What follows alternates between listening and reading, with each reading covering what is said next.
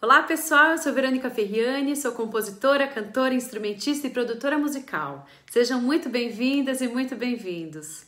O intuito desse vídeo é compartilhar com vocês um pouco sobre o meu processo de composição, que começou na verdade uns bons anos depois do meu trabalho já como intérprete. E para isso eu acho importante contextualizar rapidamente o meu processo na música, especialmente no que diz respeito à composição, dizendo desde já que gravar é, o meu primeiro disco 100% autoral foi um processo, né? E que até lá eu passei por diversas etapas de construção dessa compositora.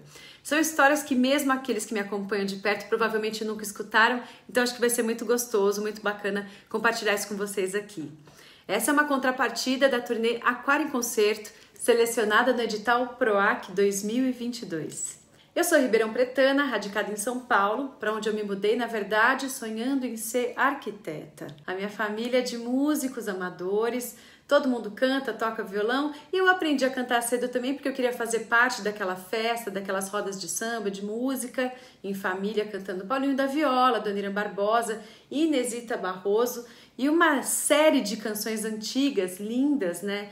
Essas canções, na verdade, são a minha primeira referência musical e certamente também influenciam as minhas composições. Ainda criança, experimentei, acho que de certa forma pela primeira vez, a composição, mas de uma maneira ingênua, curiosa, né? Eu criava paródias sobre os problemas econômicos e políticos do Brasil, que eram muitos, né, que eram assuntos muito presentes na época. A gente ouvia os adultos preocupados com as alterações de moeda frequentes e lá, claro, eu criava é, a partir daquela minha visão infantil, né? Eu brincava de inventar letras novas para as melodias, por exemplo, de Iluminados, do Ivan Lins, é, de Joga Fora, que a Sandra Sá cantava, e outras músicas que tocavam nas rádios da época, né? E que eu ouvia bastante também. Eu comecei a estudar música aos 20 anos, já morando em São Paulo, e subi no palco pela primeira vez também quando já tinha meu diploma de arquiteta na mão, né? Eu sempre digo que a FAO tem uma importância enorme na minha formação como artista,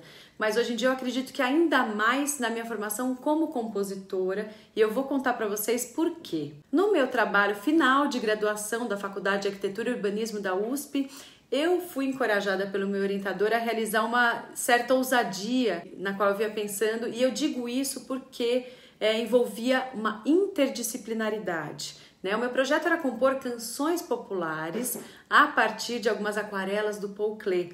E eu vinha pesquisando de forma comparativa, comparativa alguns critérios estéticos que se assemelhavam entre as artes visuais e a música, né? Eu queria colocar em prática, na verdade, esse comparativo através das canções que eu me propus a criar sem nunca ter feito isso antes.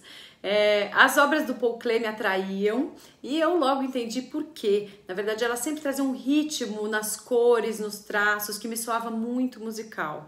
E eu pude depois confirmar isso quando eu conheci um pouco da biografia dele, que eu acho sempre bem importante. Né? Ele era filho de pais músicos, estudou violino desde pequeno, depois se casou também com uma pianista. Né? E mais tarde eu fui descobrir ainda que aquelas aquarelas que eu tinha escolhido como referência para compor as minhas canções populares tinham sido inspiradas, por sua vez, em concertos de Bach e de Mozart.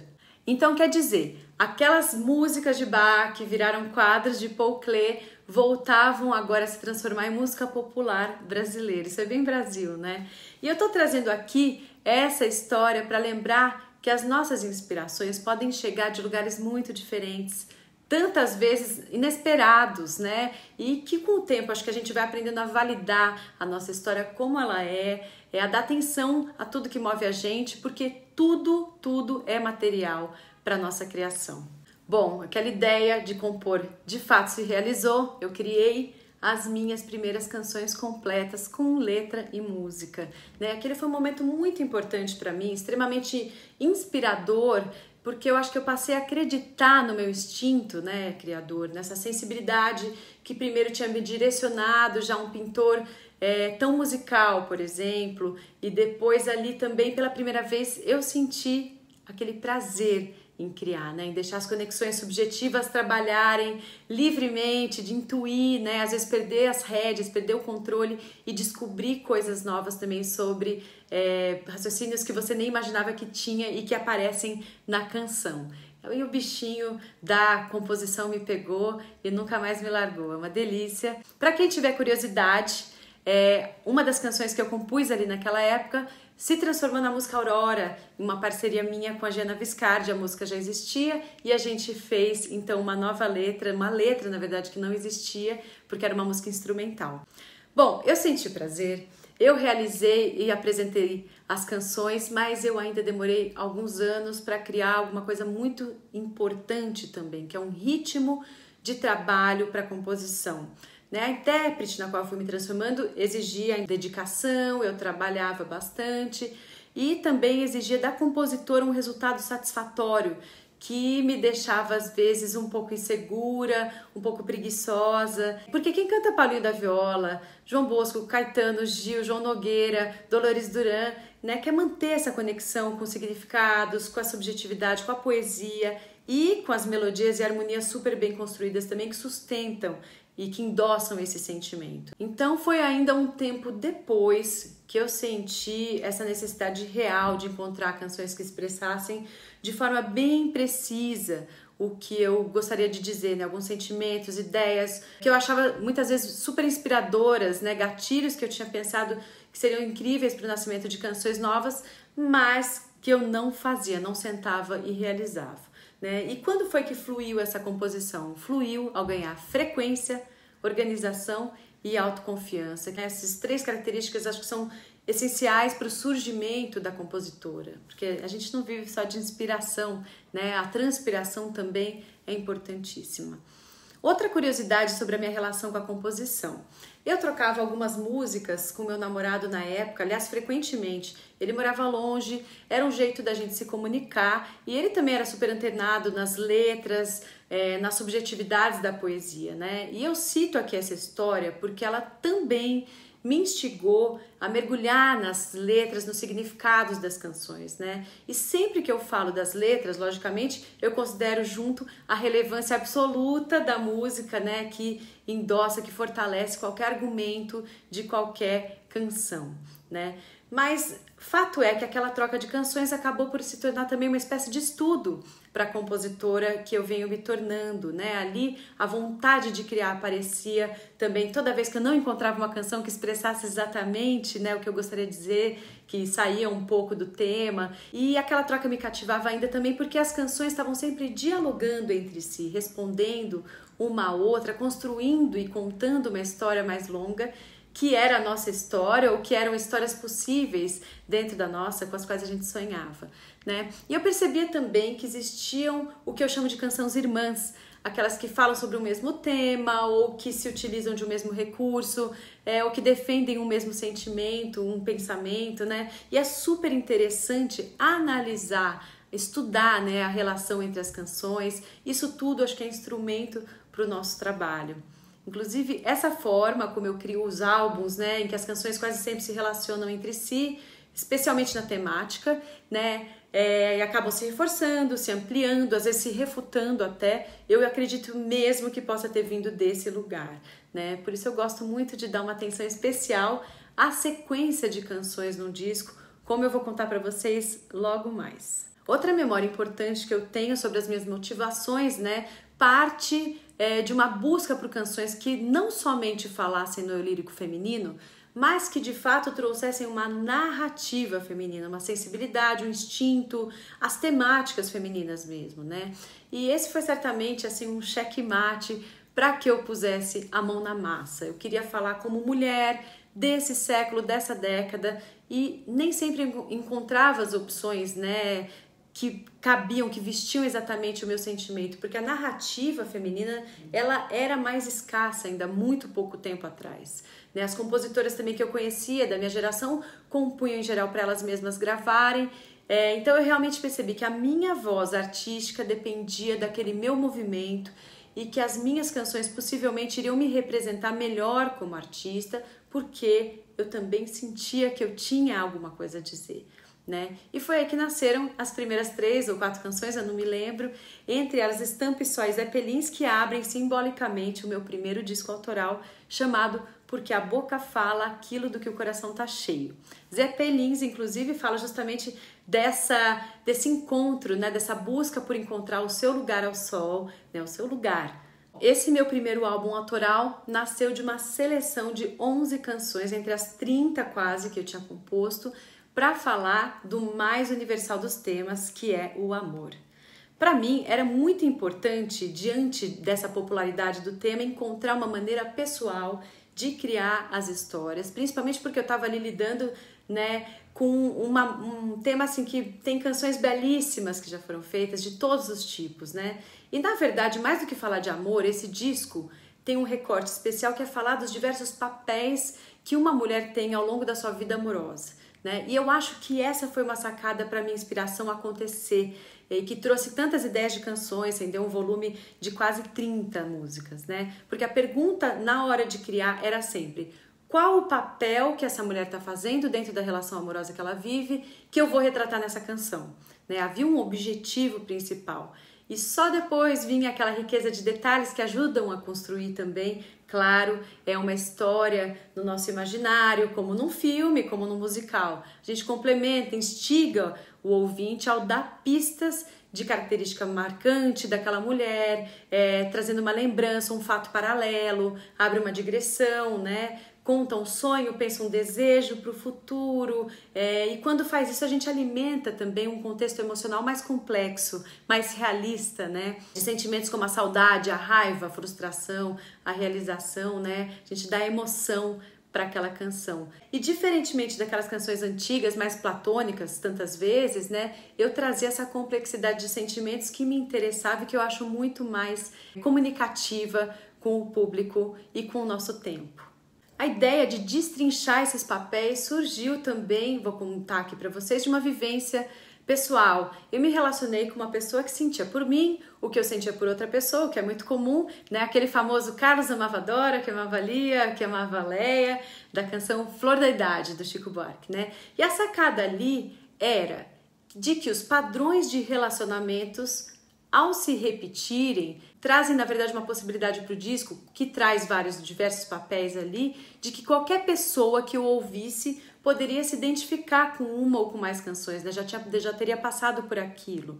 E eu buscava ser bem sincera, confessional mesmo, de forma que as pessoas pudessem sentir, ao ouvirem, que outras pessoas também passavam pelo mesmo que elas. A gente sabe, mas é tão bom ouvir numa canção isso, né? A gente se sente compreendida. Essa identificação é geralmente muito poderosa. Acontece quando as pessoas, né, as canções trazem contexto mais amplo de sentimentos, mais realista como a vida é, né? O amor com um pouco de insegurança, dos medos, dos processos, das dúvidas, das frustrações, né? Que todo mundo sente, a verdade é essa. Eu nunca me esqueço de uma amiga descolada que eu tenho que quando me ouviu cantando Pague alguém pra te ouvir, que vive em paz, né? Do Stamp só, mesmo ela me perguntou se eu ia deixar aquela frase na música né? É, eu acho que ela pensava que podia ser um pouco agressivo, também que ao mesmo tempo poderia ser um momento menos poético, né? Mais mais prático, mais pragmático em relação a outros momentos do disco.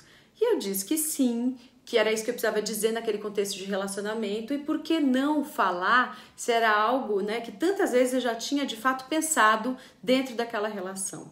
Então, o que eu quero dizer aqui é que compor, antes de tudo, possivelmente é um ato de coragem e de mergulho em si mesma, né? Na vida é assim que a gente é, tem cria subsídio, cria é, assunto, conteúdo para contar. E eu acho que é assim que o caminho se torna muito mais interessante, né? De a gente conseguir se comunicar mais profundamente com pessoas que pensem parecido com a gente, que ou não, né? Que também através das canções descubram uma forma diferente de sentir, de pensar é, e que as pessoas mergulhem de fato com a gente, sejam elas muitas ou poucas. Mas o importante é o mergulho acontecer. Bom, ao começar a compor, e eu digo isso como alguém que passou por isso, por esse processo um pouco mais recentemente, né? Porque, como eu disse antes, o meu negócio era cantar, né? Eu fui entendendo uma forma, ou na verdade algumas formas de criar, é que logo eu vou compartilhar aqui em detalhes com vocês, porque eu acho muito mais interessante também a gente entrar na prática da coisa. Né? E esse disco também, por outro lado, me fez entender algo que se repetiria nos demais discos autorais que eu lancei, eu gosto de compor inspirada por um tema, né? O que vem acontecendo naturalmente é que as canções elas nascem, né? Partem daquilo que me move naquele momento. É, eu estou vivenciando intensamente alguma coisa e começa a brotar, né? Canção é, sempre voltando para aquele tema e eu começo então a pensar agora eu tenho um projeto e assim a coisa se expande, eu, escrevo outras músicas e o projeto fica muito mais firme, acho que muito mais conciso, né? muito mais íntegro é, dentro do que eu pretendo e da forma como eu gosto de produzir. Eu li recentemente, inclusive, um livro da psicanalista Vera Iaconelli, em que já no primeiro capítulo ela justifica a escolha do tema principal do livro, dizendo como as nossas vivências são, em geral, fontes espontâneas né, de pesquisa e muitas vezes a nossa inspiração mais genuína, mais profunda surge dali. Eu de fato posso dizer que tenho composto e vivido muito às custas disso, né? Compor, inclusive, no meu caso, é uma ótima forma de elaborar minha própria vida, é uma espécie de terapia paralela, né? E eu acho corajoso da nossa parte poder expor, poder se abrir, trocar com pessoas sobre o que de mais honesto, né, a gente sente, a gente pensa e a composição, eu acho que ela, ela ganha muito com isso. E já deve ter dado para perceber também até aqui que as letras têm aqui no meu radar, pessoal, um papel super importante, papel essencial. Normalmente é na narrativa, é no argumento, né, que as minhas composições nascem. Mas, claro que para muitos compositores, acredito que até a maioria é a música, né, que comanda o início de uma canção. Eu arriscaria até dizer é, que alguns valorizam tanto a música que a letra vira quase uma alegoria. E tudo bem, porque assim cada um vai contando a sua história, né? E a música, ela tem um poder independente também, tanto que existe a música instrumental, existem vários tipos e jeitos de se mergulhar na música, né? Eu posso dizer hoje em dia que eu tenho as minhas preferências, mas já fiz e faço canção de vários jeitos. Primeira maneira mais deliciosa é quando a letra e a música fluem juntas, nascem espontaneamente, né? Não me contento, é um caso assim do meu álbum novo Cochicho no Silêncio Vira Barulho, Irmã, né? Então a canção nasceu rapidamente no dia a partir de uma frase de Isaac Magieri: Amor é mar, não me contento em molhar os pés. Essa frase me trazia a imagem da água, é, me trazia uma sensação sobre intensidade que me fez pensar em maternidade, é, em sensações associadas né, a isso, como a perda do controle, a aventura, né? E aí a música começou a fluir e eu começo contando então o meu sonho, né? Hoje eu sonhei que me banhava na cachoeira, cavalaria, rios inteiros me conduziam. Essa frase foi muito interessante porque é, não foi uma frase pensada e eu não conseguia entender exatamente enquanto eu fazia a canção por que ela tinha surgido. E depois já de lançada a música, eu entendi que os rios que me conduziam eram é, os meus ancestrais, né, o meu aprendizado é, em cuidar, né, dentro daquele tema da maternidade. Então, é muito bonito também quando a gente deixa, a gente perde um pouco o controle, perde um pouco as rédeas e ainda assim a música é, nos mostra caminhos, nos mostra raciocínios que a gente nem imaginava que teria. O ritmo da levada era um galope, né? A ideia do cavalo apareceu e eu não tive medo de juntá-la à ideia de água, né? Que poderia parecer bastante clichê de filmes western, sei lá. Mas aos poucos o que eu percebi é que eu tinha, né? É, o comando ali das ações, eu estava usando aquelas imagens de uma forma própria, né? Sem necessariamente cair em lugares comuns que geralmente tornam a música menos interessante. Eu acabo dispensando, né? Acho que a maioria dos compositores faz isso. Isso acontece também, a gente começar e desistir de uma canção, né? A segunda parte é um galope que descreve um pouco mais em ações simbólicas, né, essa aventura. Montei a pelo, cavalo bravo, verão no temporal era alta de rio, né? Tô descrevendo ali um cenário. Faltou espelho, sobrou coragem. Tô falando já de um de um lado mais interno, né, mais confessional. É, e aí até cair no céu azul anil, que me leva então, enfim, para a frase que inspirou a canção: Amor é mar, não me contento em molhar os pés né? Assim é feita uma canção, é, é muito gostoso mesmo quando a gente consegue é, trazer é, uma inspiração que acontece independente até da nossa vontade, ela simplesmente flui através de nós. E eu acho ainda interessante, né, que a canção fala desse amor maior que eu conheci na maternidade. Essa foi a minha inspiração, que me moveu. Mas ela pode facilmente simbolizar amores intensos de outras naturezas, outras coisas que eu nem imagino, né? Porque a poesia nos dá esse, esse nos tira, na verdade, o controle de significado, né? E de, bem diferente de um texto descritivo. E é tão bonito isso na canção, né? Ela saiu de você, ela ganha o mundo, ela é do mundo, como os filhos mesmo. As pessoas falam isso, é clichê e é verdade. Que cada um encontre os seus significados. Outra forma de fazer canção é quando as poesias, né, as frases, um texto vai desenhar posteriormente as melodias e harmonias, né? Inspiradas pela forma de dizer, pela entonação. Isso acontece na minha música Foto Linda. Eu tinha escrito um texto pequeno dizendo a foto é linda como o encontro foi, as filhas são frutos desse imenso amor. Começa assim. Então eu começo com uma melodia simples, o ritmo de fala da frase, né, me lembra um shot e esse gênero combina com a retórica, então gostei, mantive. Aí é, nessa primeira parte eu já enfatizo a, a, palavra imenso, né? Com uma melodia no agudo, mais prolongada, nota prolongada do meio. E assim, enfim, é tudo meio subjetivo, né, gente? Eu tô falando sobre o meu processo e por que eu gostei quando começou assim e mantive. Né? Depois eu sigo. Foi milagre, segredo de Babalaô, um sonho alto que se conquistou.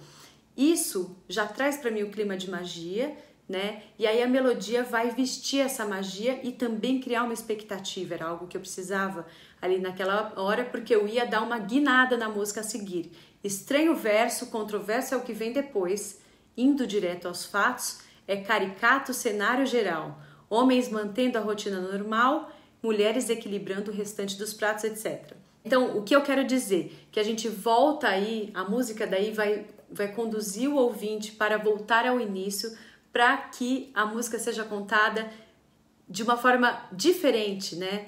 Ela seja recontada agora sobre é, em cima de uma realidade que mudou, né? Então a história em si vai sendo contada pela canção, que começa linda, mas que com a chegada dos filhos, nesse caso, pode trazer questões mais complexas e aí a música vai endossar, vai reforçar esse movimento é, de guinada e de volta para um reinício, né? E isso é muito simbólico tudo, é, mas é assim que a música vai vestindo né, a canção, através das entonações e também de conseguir criar expectativa quando há uma expectativa é, no texto, de criar um descanso quando há um descanso, né? De voltar para o início quando a gente vai come querer começar a contar a história, nesse caso, né, novamente de uma outra maneira. Então é muito bonito você pensar nisso, tentar objetivar, não sempre é fácil, mas é o que eu estou tentando fazer aqui, né, para contar para vocês e compartilhar um pouquinho sobre o meu processo. Uma terceira maneira de criar é a melodia e a harmonia que nasce, independente da canção e que depois vai ser letrada, né? As melodias pontualmente podem sugerir palavras que sejam completadas para virarem frases e depois uma canção completa. Isso aconteceu em Estampe Só, música primeira que eu fiz, né, que abre meu primeiro disco autoral, né? Eu tinha uma música completa feita, música e harmonia, né? Porque eu queria trazer alguma coisa de rap, uma coisa mais falada para o samba. Eu estava experimentando isso, né?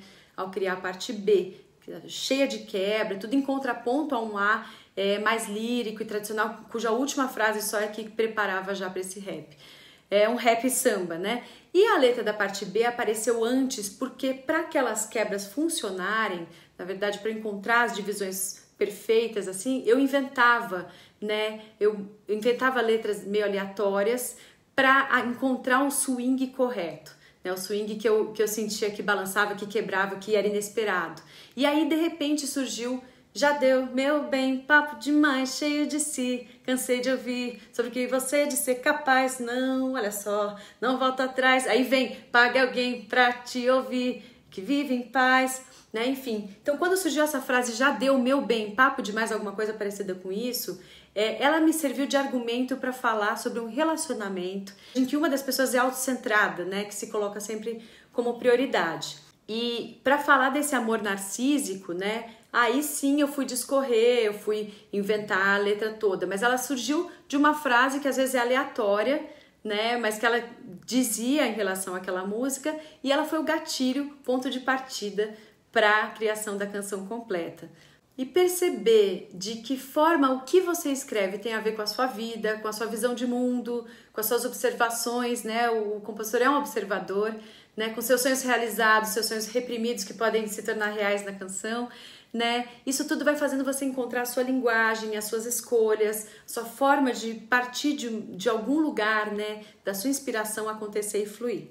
Bom, eu volto aqui logo mais para a gente continuar esse papo. Deixa aqui nos comentários se você tem alguma curiosidade, alguma coisa que você gostaria de saber, alguma pergunta sobre alguma música, algum comentário sobre o seu processo. Manda aqui. Também envia para as pessoas que podem curtir esse vídeo e eu volto aqui para a segunda parte desse vídeo. Até lá!